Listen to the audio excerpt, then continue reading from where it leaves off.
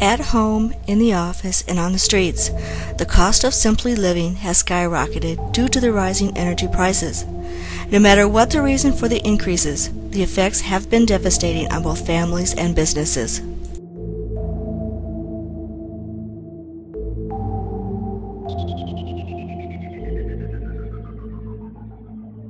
There is a cost-effective and efficient energy source that is currently available that is being restricted by zoning regulations. Wind is a natural source of energy that is completely renewable, environmentally responsible, and totally free.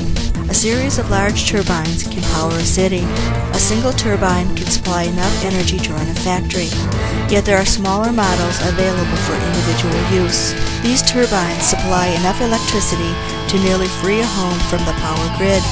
However, when used in combination with a geothermal furnace, it will also heat and cool the home.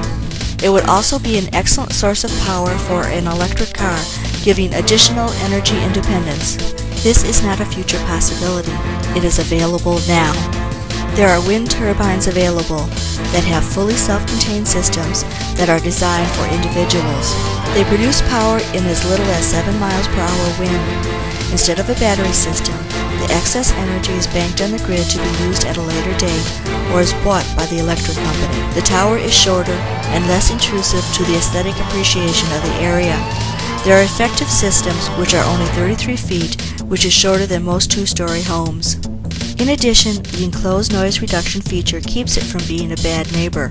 Combined with the tax incentives, the cost savings would pay for the system in about five years. With all these benefits, why aren't more people jumping on the bandwagon and taking advantage of the free energy? It's simple, they can't. Local zoning regulations list wind turbines as a separate structure and limit their height. These outdated regulations stand in the way of energy independence not only for individuals but also for businesses and the country. It is time to demand that the zoning regulations be changed and updated.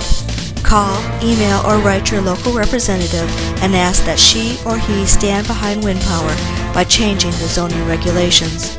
If she or he can't find the motivation to become involved, 2008 is an election year and it is time for a change.